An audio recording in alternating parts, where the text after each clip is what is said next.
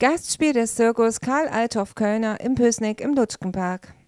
Die bekannten deutschen Artistenfamilien Weisheit und Kölner führen in bereits achter Generation eine alte Tradition fort. Seit März gehört der Zirkus zum immateriellen Kulturerbe in der Bundesrepublik. Gerade wird das Zirkuszelt mit 800 Sitzplätzen aufgebaut. Hier hilft jeder der Zirkusfamilie kräftig mit.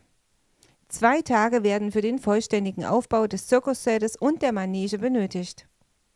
Wir gastieren mit unserem Zirkus von 8. bis 17. September. Achtung, Montag und Dienstag sind Ruhetage. Und unsere Besucher können sich freuen auf einen ganz tollen Zirkus mit Menschen und Tiere in der Manege.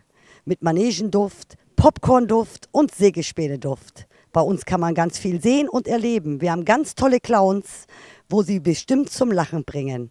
Wir haben Tiere dabei, wie unsere Riesenesels, unsere Dromedare oder ganz besondere Artisten, wo schon in Monte Carlo Preise gewonnen haben. Jonglage, Hula Hula Hoop und natürlich unsere Roller Roller. Und unsere Besucher können zu jeder Vorstellung auch mal hinter die Kulissen schauen. Wir haben eine 15-minütige Pause, wo man mal die Tiere besuchen kann, wie die hier im Zirkus leben. Wen jetzt auch die Neugier gepackt hat, der kann ab Freitag, den 8. September bis zum 17. September den Zirkus besuchen. Hier wird ein neues, modernes Programm geboten. Überzeugen Sie sich von diesem Event einfach selbst.